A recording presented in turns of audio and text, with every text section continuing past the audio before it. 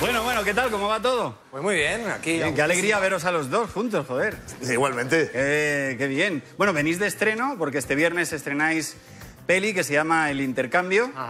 Con ese título o es de espías o es de mandanga. Va de espías. Va de espías, de espías De espía con mandanga. De espías con mandanga. Contanos un poco, ¿cuál es el argumento de, de la peli? Pues un matrimonio que después de 15 años de, casados, para su aniversario, deciden hacer un intercambio de pareja con la sana idea de oxigenar la relación. y lo que en principio se aventura algo pues especial y que los van a pasar bien y que todo va a ir muy bien, pues termina siendo un, un infierno, sobre todo para, para mi personaje, para el personaje de Jaime. Que a priori es un egoísta que se va a llevar la mejor parte del, del intercambio, pero luego la vida le da la vuelta y, y, bueno, pues sufre muchísimo. Porque claro, tu personaje, tú, la verdad es que sufres más que un chino en humor amarillo. Yo sufro todo el A ti rato. te pasa, a ti te pasa todo.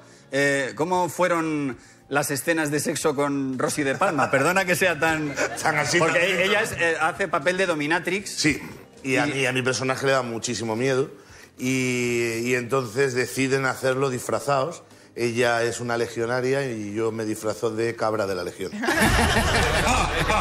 A ver qué pasa. Y aparte de pasar mucho, mucho calor durante el rodaje, pues la relación fue un poquito desastrosa. Ella iba fuerte, ¿no? Me- Ella, ella es dura, ella es fuerte Ella, siempre. ella es fuerte a tope, ¿no? Pero Rosy es mucha Rosy. Entonces creo que alguna vez el director le decía, no, no, tanto No, no. para, para un poquito, para un poquito. La indomable, ¿no? O sea, que tú Sí, la indomable, La dama llamaba, indomable, le llamaba le llamaba el director. La indomable.